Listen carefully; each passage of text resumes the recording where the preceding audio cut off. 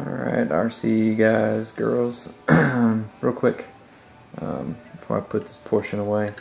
Um, when you're installing the boom clamps, just be careful. I didn't catch it on the first time through, but I went back and read. Um, they actually want you to lightly tighten the clamps to the actual frame. Put the boom in, tighten it down to where it can still rotate. With these tight, kind of, I guess it's to align the clamps with the boom. And then uh, go ahead at that point tighten the, uh, the two bolts per clamp to hold them to the frame. Uh, and then after that, uh, you, know, you pull the boom back out.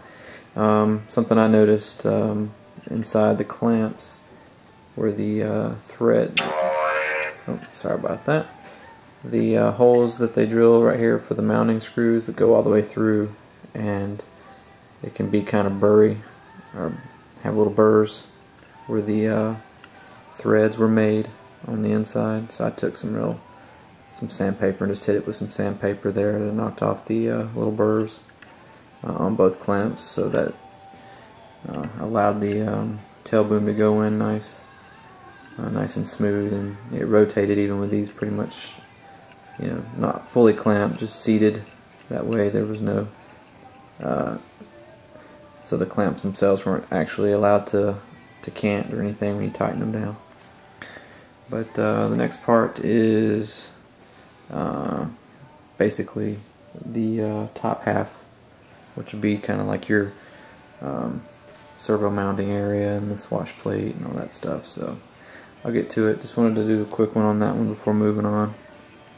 Uh, I also went ahead and put this bottom gear on uh, which is uh, one of the last things you do. Simple it's a um, 4 millimeter bolt with a lock nut on it. Uh, there is no uh, spacer in here. It's just beveled that way on the gear itself. The only spacer is underneath here.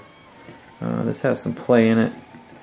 I'm guessing that this is going to go into some kind of block or something. We'll see. Um, we'll see how that goes once it's in.